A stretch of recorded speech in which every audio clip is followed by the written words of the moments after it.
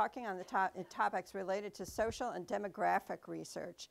They are Allan Dafoe and Beth Noveck. Um, our first speaker will be Allan Dafoe, um, Assistant Professor of Political Science at Yale University and Faculty Fellow at both the Institution for Social and Policy Studies and the Macmillan Center for International and Area Studies. Professor Dafoe's research examines the causes of war and statistical methods for credible causal inference. He won the Leamer Rosenthal Prize for Open Social Science an emerging, and, as an emerging researcher for his work improving transparency practices. His PhD in political science is from the University of California, Berkeley, and he has an MA from, in economics from Berkeley and an undergraduate degree from McMaster University. So welcome, Professor Dafoe.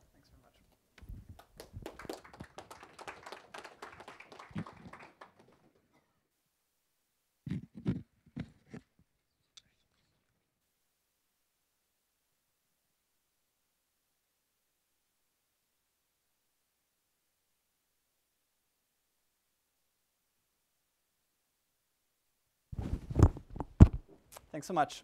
Uh, so it was a real pleasure to have uh, Brian just share with us all the uh, fantastic tools that they're building.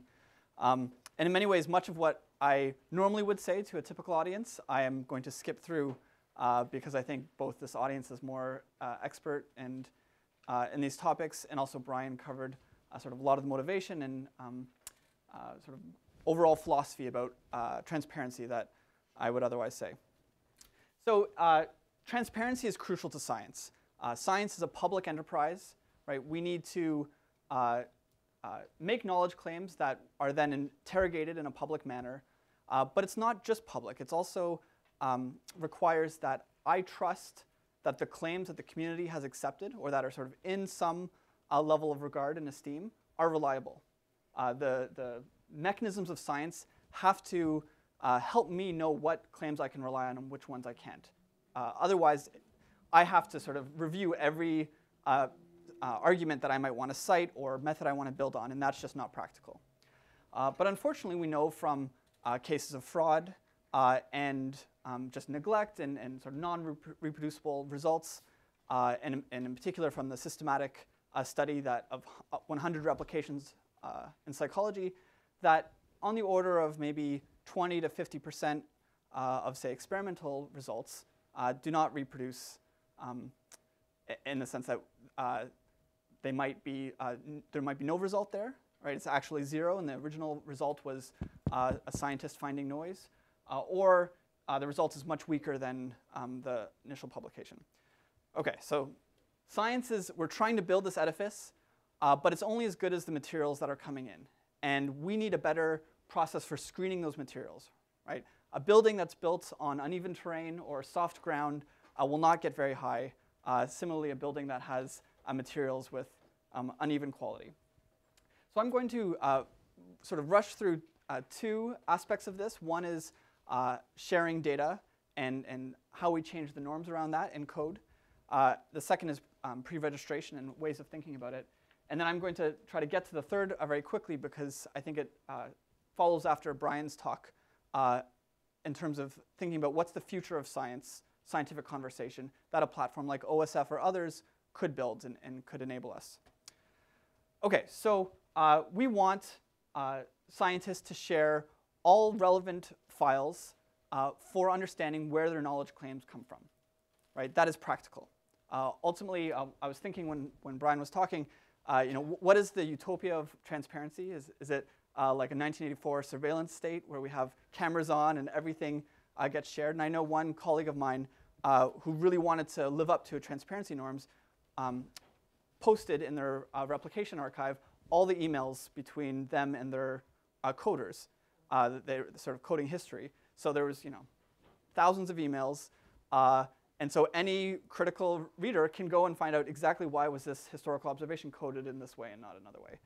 Um, so uh, so that might be the limit. Um, my, the transparency maxim I'll offer is that we should try to make every step of research as explicit and reproducible as is practical, right? Clearly, at some point, we're going to hit diminishing returns or other constraints. So um, we have to leave it up to each discipline and each uh, researcher to, to negotiate that. Um, but the benefits are, are tremendous. And um, I mean, Brian made most of these points. One I, I want to emphasize is the idea that scientific publications used to be uh, like a scrapbook of photos of, of someone who went on a, a, a, um, a, vacation or a travel, and they're showing us their, the pictures of their journey, and they're telling us a story from that. And that narrative is only as good as sort of we trust the author's representation of, of what they saw. And, and there the analogy is to data. Whereas with the internet, with modern computing, we no longer need to have this static representation of the data.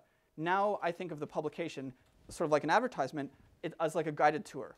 So the authors say, come with me, reader. I will walk you through a data landscape and show you what I found and show you what's there. But the reader should be free to leave the, the tour at any moment. They can say, I'm curious about what's over that hill or what's behind that you know, curtain, uh, and they should be enabled to do that. So um, I think that's where we're going. And uh, yeah, the, just in terms of facilitating uh, the reproduction of uh, analysis. Okay. Um, just a, a, fun figure to share. So I collected data on, these are the two leading political science journals. Uh, and the y-axis is uh, the proportion that state, or, or whether the uh, article states that replication files are available. Um, so a few takeaways. One, in the time period 2009 to 2013, uh, at least if we look at APSR on the right, which is our number one journal, it wasn't great. Uh, AJPS, on the other hand, started out at around zero and then jumps to about 100%. And as you can probably uh, infer, uh, that's because a new editor came on board and added a policy that says all you know, published AJPS articles need the first footnote must state where replication files are available. So uh, uh, sort of a, a, small commitment like that by a journal generated 100% compliance to the letter of the law, but not the spirit. So now the y-axis is are replication files actually available? And nevertheless, we still have 50 to 25% of articles in AJPS, despite a footnote saying our replication files are available here, uh, no replication files could be found there or given about 10 minutes of searching anywhere else on the internet. Um, hopefully, I think the community is adapting. You know, we, we see a creep up. And I should say political science uh, has really embraced transparency uh, norms and standards, in part because of the top uh, sort of uh, movement um, transparency and openness uh, promotion guidelines. Uh, so we're, we're getting better. Um, but this is just to show that uh, you know, it really helps to have journals uh, you know, um, providing incentives. Um, I'll skip that. Okay, uh, so you know, what, what do we want in complete replication files? Uh, you know, we might want even the emails between the PI and the, the lab members, um, but I, I won't go that far. I do think we want as far down in the sort of um, chain of inference as possible. And you can think of it as we want to maintain a chain of custody of, of how the original data led to this final uh, claim. Um, and then one other point I just want to share uh, that I, I, think is, is symptomatic of, of, the state uh, of um, at least maybe political science, but maybe other social sciences, is that I work with surveys and survey experiments. And a key thing you want uh, when you're reading a survey is to see the original survey text, the, the verbatim, how, it, how it's laid out, the question that preceded the key question, right? Because uh, you know, text can put the res respondent in a different frame of mind. They interpret later questions differently. Uh, so we know this, uh, that this matters a lot. And yet, to my amazement, leading scholars in my profession and my discipline um, will publish surveys and survey experiments without, there's nowhere on the internet uh, is the actual survey text available. Uh, and so this is not due to uh, technical difficulties, right? It is, it is, not hard to take a picture or a screenshot or produce a PDF of your survey uh, or a QSF file, for example, if you use Qualtrics.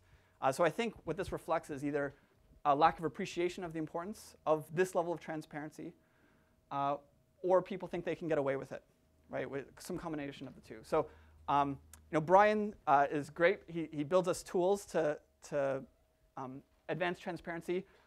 I, I, will be a little bit more of the uh, um, cynic or realist. I think we also need the stick, right? Uh, it's here we, we don't need a tool to, to get this happening. We just need colleagues to know it is not acceptable to you know, produce a survey or survey experimental study and not share the PDF publicly or, or the text of the survey. Okay. Um, and we could even uh, make stronger norms. Uh, we could uh, have journals think that you should, the paper should be retracted if it can't be reproduced uh, you know, from the original data. Um, and then, of course, also, as Brian mentioned, we should uh, find ways of weighting transparency in the incentive structure where it matters. We could rank uh, uh, and, and, judge journals, and then when considering hiring and promoting um, scholars, uh, we should uh, upweight transparency as a criterion. Uh, okay, so this is the beautiful figure about the 100 uh, psychology studies. Um, and the main takeaway here is, you know, some replicated. They, the replicated effect uh, was about the same as the original effect, uh, but some, many, uh, did not replicate. They were, the estimated effect in the replication was around zero. Um, and this, is, this issue is not addressed by what I've just been discussing, uh, the sharing of code and data, because this could be due to uh, publication bias. It could be due to the researcher who runs 100 experiments and shares the five that are most interesting, right? Uh, so to address that, we need pre-registration, or, or there's some other solutions.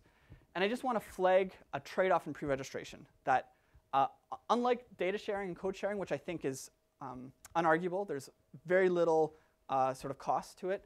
With pre-registration, uh, in my own experience, and, and, especially with my students, um, they, there's a risk of spending too much time uh, at the pre-registration stage and really slowing down uh, the research process. So uh, students will, um, because I'll give a, a very you know, um, emphatic lecture about the importance of pre-registration, they will spend a month or two theorizing you know, uh, and, and, designing their study. Uh, and then when they do it, they get a null, right? So uh, that's a month or two you know, potentially wasted. Now, hopefully there, there's benefits. Um, but the main point that I want to make is that a lot of science is exploratory and inductive. That's and, and like a lot of the value that's generated from science comes from the exploratory and inductive process. So we just need to find ways of preserving that value and recognizing that, that it's valuable at the same time as, as, insisting that uh, work distinguishes whether it's confirmatory or exploratory by systematically doing pre-registration. Um, and then the other pitfall is that anticipating this time cost, scholars don't pre-register at all. Uh, so my recommendation is uh, pre-register all the time, but don't, don't uh, require yourself to have a perfect pre-registration. Don't require it be you know, uh, a fully fleshed theory necessarily if you're not there uh, with full pre-analysis code. I mean, that's great if you can do it, but uh, if it's just one paragraph, that's great. And um, OSF, as I understand, as Brian's been using it, has sort of enabled that level of uh, different levels of sharing. So you might have a summary minutes from your lab meeting, and that would be your pre-registration. And I think that's a, a, a good uh, compromise. Um, and yeah, there's other ways. Uh, Ben Olken mentions, a, I think, a good way where you take out the treatment variable, and then you analyze your data. Uh, so then you get to see what the data looks like and how, it, how the outcome correlates with various covariates, uh, but you can't um, p-hack because the treatment variable is not connected to the outcome. Uh, so that's a promising way. Uh, okay, and I'll, i might come back to that because do you know how much time I have? Five minutes. Okay, yeah. So I want to get to this. Um, so this speaks to um, Brian's later slides, uh, which are sort of what's the future of scientific conversation, right? And, and this idea that uh, publication and evaluation are currently are, are, intertwined and should be separated is exactly right. Um, and I, will just sketch sort of a vision that I think uh, OSF is moving towards and, and other um, uh, uh, groups are, are sort of starting to build out the, the features for this. And I'll tell you the vision that I think would be excellent and I, I sort of think is an attractor for scientific conversation. And given how many scientists we have here, uh, I would love you know, your thoughts if, if this makes sense. so if I want to buy a book, here's Gelman and Hill's uh, uh, data analysis um, textbook. I can go to the Cambridge publisher's website, and what do I get? I get a title, I get their author name, I get the price, the cover art, I can look inside so I can actually read the whole or much of the book. Um, but what I don't get is uh, what I started off by saying we need in science, which is uh, the sort of synthesized expert evaluation of my peers and colleagues. Right? I don't want to have to read the whole book to decide whether I should buy it. I want to delegate to my colleagues who have already read it uh, their judgment and then uh, integrate it in some uh, appropriate way. We now have that service. Uh, Amazon provides it for us. Um, these aren't necessarily my colleagues who are doing this, though sometimes they are. But you have a community of readers who volunteer time uh, to share their judgment uh, and assessment of a book. Uh, not only you have the quantitative ratings, which is a useful way to screen uh, books, but you also have a detailed uh, review and a holistic review. Amazon also helpfully gives us this, what did these customers who bought this also buy? uh, which is a you know, useful uh, service that currently, um, well, uh, at least the Cambridge uh, website would not provide. So here's a, uh, an article from our leading journal. And again, we get what the publisher provides. So we get the sort of details, the title, the abstract, the author name. Um, but it's all shared, it's all provided by a self-interested group. The authors have a motivation to portray their results in a certain light. The publishers have a motivation to portray it in a certain light. There's no third party here telling me you know, what they thought of this. Um, and so that's where I think we want to go. We want to build a web platform or, or a, uh, an online uh, forum where the community discusses works, uh, hopefully expresses them in a quantitative metric that can be aggregated in a sensible way uh, to facilitate um, my assessment of other works so that I don't have to spend two hours reading this paper to figure out if I trust the results or not. Uh, my colleague who already did that can basically tell me indirectly. So we have this um, more, more efficient uh, conversation. This already happens offline, right? If, if I, see, I want to know if this works any good, I might email my colleague who I know uh, has read it and, and ask them for their input. So we just want to build a web platform so that everyone has access to that and it, it uh, facilitates um, conversation. Uh, so here's uh, one group um, that uh, at least provided sort of a visual representation of what I think it could look like. This is Science Open. Here you have an article, right? The same title, authors, uh, you know, maybe an abstract. Uh, and then what I'm really looking for, right, is the uh, quantitative summary of what readers think of this work. And then you can imagine a holistic review down here that's been upvoted by all the readers. So the first thing you would see is uh, an expert judgment, third party, saying, this is what I think of this piece. And it's not just a troll or, or, or a negative uh, you know, uh, response. It's someone who really shares, this is what this work achieves, and this is where it falls short. These are the scope conditions. Um, this is what's impressive. This is what you, you can look out for when you're reading this. Right, a, a third-party perspective that I can quickly get to that's already been crowdsourced uh, you know, by the community so that when I get there, it's at the, the, the top of visibility. Um, okay, there's a lot of things we could add to that, uh, and I'll just list some. Um, so there's this idea of a wiki abstract, right? Rather than have the authors, who again have this uh, self-interest in presenting the re results as being innovative and break uh, uh, outstanding, I would love to hear what, what expert reviewers think was actually achieved in the paper, right? What did the results actually show? Uh, so more disinterested uh, representation. Um, the ratings could be on importance, credibility, clarity. Those are three metrics that I think would be useful. Um, you, you probably don't want uh, just some naive averaging of over, everyone's ratings, especially if it's really open to the public, right? You wouldn't want to read like climate science uh, quantitative ratings if a certain you know, political group decides to, to get on there and downvote um, all of them, or even maybe one lab sort of systematically downvotes another lab's uh, work. Uh, so you could have all kinds of customized ratings uh, where you might um, subset on scholars of a certain uh, achievement uh, or a certain um, like social network.